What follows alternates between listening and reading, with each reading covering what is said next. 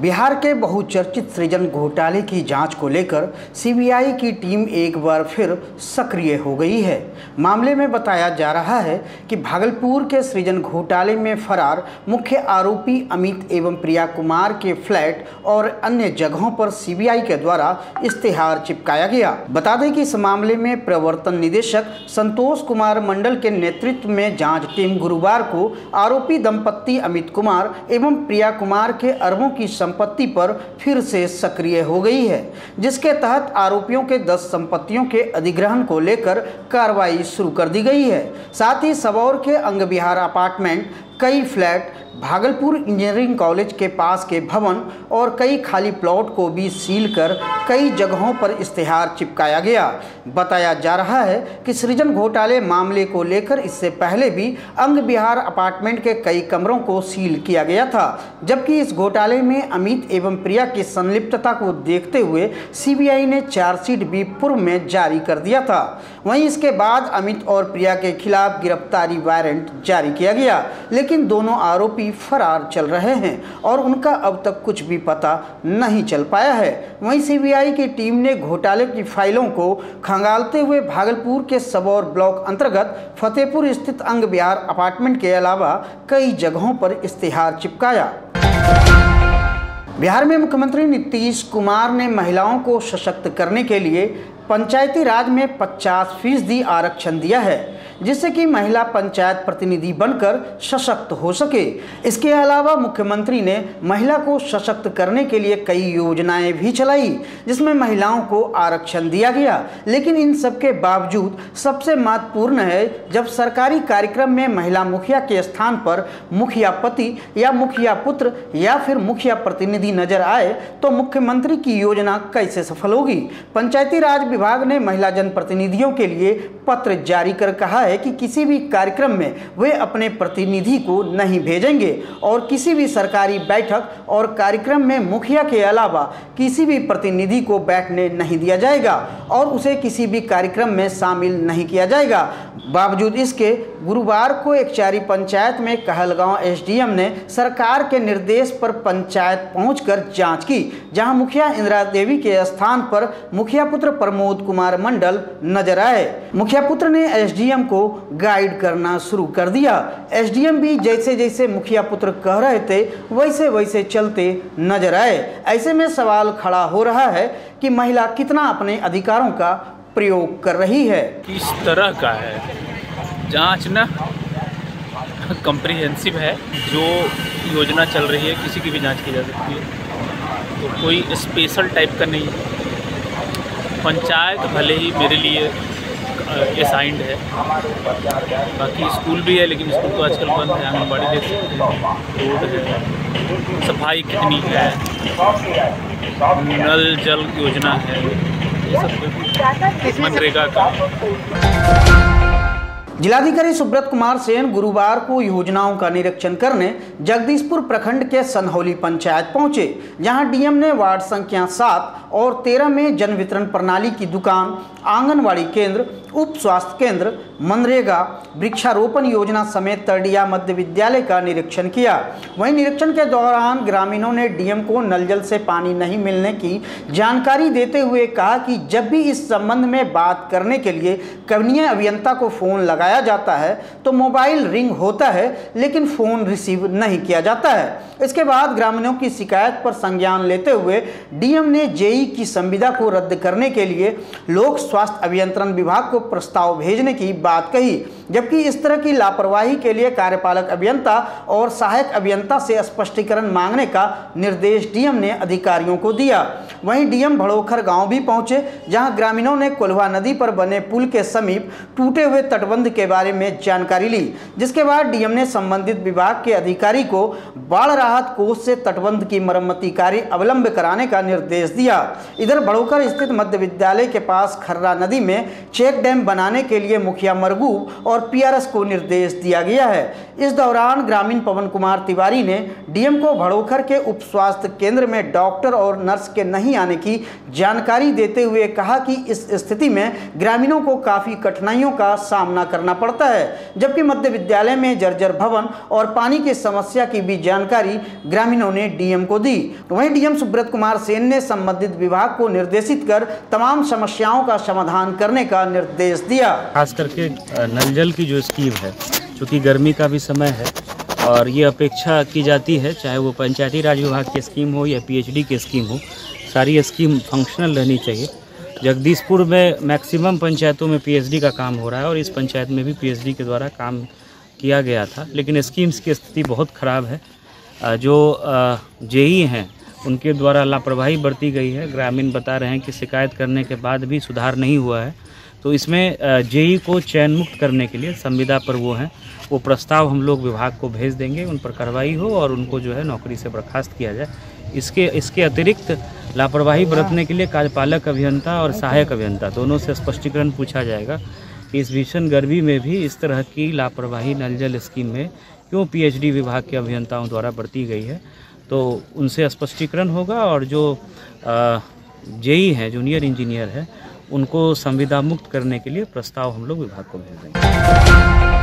बिहार मद निषेध उत्पाद अधिनियम 2016 की धारा 30 ए के तहत एक मामले में गुरुवार को नौगछिया में विशेष न्यायाधीश उत्पाद शरद चंद्र श्रीवास्तव ने सुनवाई करते हुए अभियुक्त हावेल मुर्मू को 10 वर्ष और एक लाख रुपए अर्थदंड की सजा सुनाई, जबकि कोर्ट ने दोषी द्वारा जुर्माने की राशि नहीं देने की स्थिति में छः माह की अतिरिक्त सजा काटने का आदेश जारी किया है। बताया जा रहा है कि 6 जून 2021 को रंगरा के तरफ़ से आ रही होंडा सिटी कार से ज़ीरो माइल और टोल प्लाजा के बीच उत्पाद विभाग की टीम ने पुलिस की मदद से शराब बरामद किया था, जबकि कार से एक व्यक्ति हवेल मुर्मू को भी गिरफ़्तार किया गया था। वहीं कार की तलाशी लेने पर जाँच टीम को कार की डिक्की में रखे 18 कार्टून से एक सौ बासठ लीटर विदेशी शराब बरामद हुआ था। वहीं इस मामले में हुई सुनवाई में सरकार के तरफ़ से विशेष लोक अभियोजक भोला कुमार मंडल और उनके सहयोगी अधिवक्ता राजेंद्र कुमार रवि रंजन कुमार के अलावा प्रभासनाथ सुमन ने भी बहस में भाग लेकर अपनी बात रखी, जहाँ कोर्ट ने अपना फैसला सुनाया। नवगछिया दो सौ पैंतीस इक्कीस धारा तीस ए, जो छः छः दो हज़ार इक्कीस को पुलिस को खबर मिली कि एक ग्रे रंग का कार रंगरा इधर से आ रही है। और भारी मात्रा में शराब का खेप लेकर के जा रहा है। टोल प्लाजा, ज़ीरो माइल और टोल प्लाजा के बीच में गाड़ी को रोकने का इशारा दिया, लेकिन गाड़ी का ड्राइवर भागना चाहा। पुलिस की पुलिस के स्फूर्ति के कारण वह पकड़ाया और उस कार में एक सौ बासठ लीटर से ऊपर विदेशी शराब बरामद हुआ और वह उस ड्राइवर का नाम था हावेल मुर्मू, जिसका विचारण आज माननीय शरद Chandra Srivastava A D J बारह उत्पाद कोर्ट टू में विचारण हुआ और आज सजा सुनाई गई। उसमें तीस ए में दोषी उनको पाया गया और उसे 10 साल की सजा और एक लाख रुपया जुर्माना नहीं देने पर छः महीनों की अतिरिक्त सजा नाथनगर प्रखंड कार्यालय के ट्राइसम भवन में बाढ़ की तैयारी को लेकर अनुश्रवण समिति की बैठक आयोजित की गई, जिसकी अध्यक्षता प्रखंड प्रमुख दुर्गा दयाल ने की। इस दौरान बाढ़ से निपटने के लिए जनप्रतिनिधियों ने बचाव को लेकर सीओ के साथ विस्तार पूर्वक चर्चा की। बैठक में मुखिया और पंचायत समिति सदस्यों ने, पंचायत में पर्याप्त नाव, बिजली पानी, शौचालय, सामुदायिक किचन समेत हर तरह की समुचित व्यवस्था रखने की मांग की।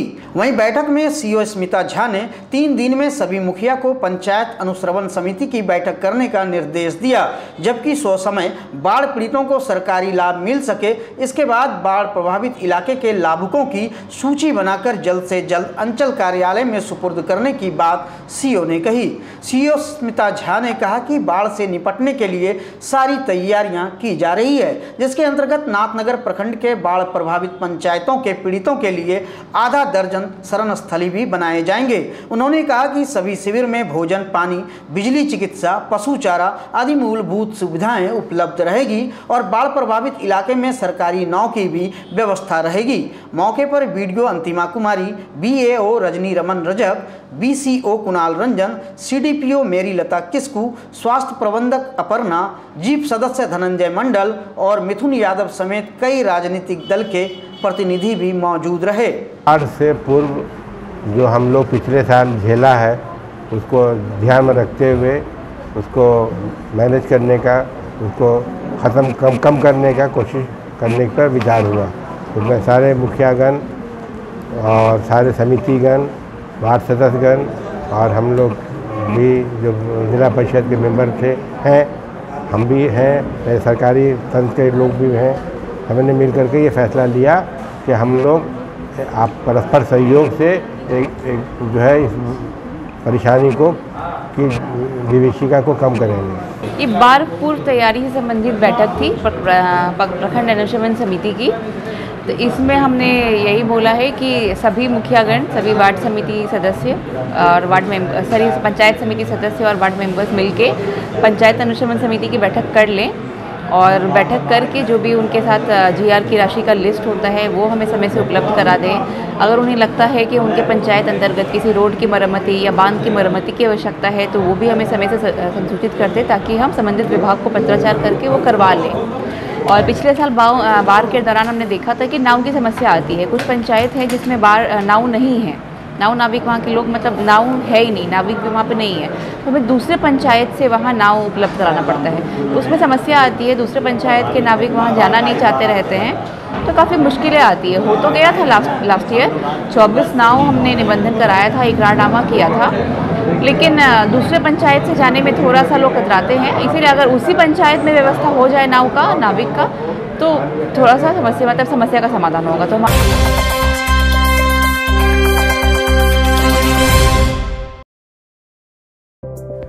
आपके नजदीकी शहर बौसी बिहार में एकमात्र pharmacy college, modern institute of pharmacy, जिसमें आपको मिलेगी स्मार्ट क्लास, स्मार्ट लैब और लाइब्रेरी जैसी अत्याधुनिक सुविधाएँ। अब आप भी डी फार्मा और बी फार्मा जैसे फार्मेसी कोर्स कर एक निश्चित सरकारी या गैर सरकारी संस्था में जॉब पा सकते हैं। साथ ही अपना खुद का मेडिकल स्टोर भी खोल सकते हैं। इतना ही नहीं, बिहार, झारखंड एवं केंद्र सरकार द्वारा प्रदत्त छात्रवृत्ति का लाभ भी प्राप्त कर सकते हैं। आइए अपने बच्चों को इंटर के बाद फार्मेसी कोर्स करवाकर स्वास्थ्य के क्षेत्र में उनका स्वर्णिम भविष्य बनाइए।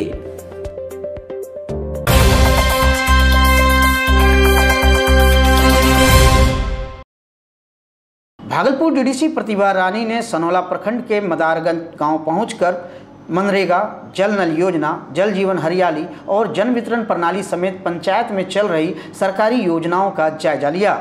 जन वितरण प्रणाली के सभी दुकानों की जाँच के दौरान मदारगंज पंचायत के ग्रामीणों ने डीडीसी से जन वितरण प्रणाली के दुकानदार परमानंद सिंह के खिलाफ शिकायत की। ग्रामीणों ने कहा कि डीलर गाँव वालों को समय पर अनाज नहीं देते हैं, जबकि एक यूनिट पर आधा किलो अनाज भी कम देते हैं। वहीं ग्रामीणों द्वारा अठारह रुपये की दर से प्रत्येक यूनिट पर पैसा लेने की शिकायत मिलने पर डीडीसी डीलर परमानंद के यहाँ पहुँची और डीलर का स्टॉक पंजी और गोदाम की जाँच की, जहाँ भारी अनियमितता मिलने पर डीडीसी ने डीलर का लाइसेंस रद्द कर दिया। इधर पंचायत के लोगों ने पानी की समस्या के बारे में डीडीसी को जानकारी देते हुए बताया कि पानी की सप्लाई नहीं होने के कारण उन लोगों को काफ़ी परेशानियों का सामना करना पड़ रहा है। वहीं ग्रामीण की तमाम शिकायतों और अनियमितता को लेकर डीडीसी प्रतिभा रानी ने अविलंब समस्याओं का समाधान करने का निर्देश दिया। साथ ही डीडीसी ने जल्द ही पानी की समस्या से निजात मिल जाने का भरोसा दिलाया। इसके अलावा डीडीसी ने मनरेगा और आंगनबाड़ी केंद्र का भी निरीक्षण किया।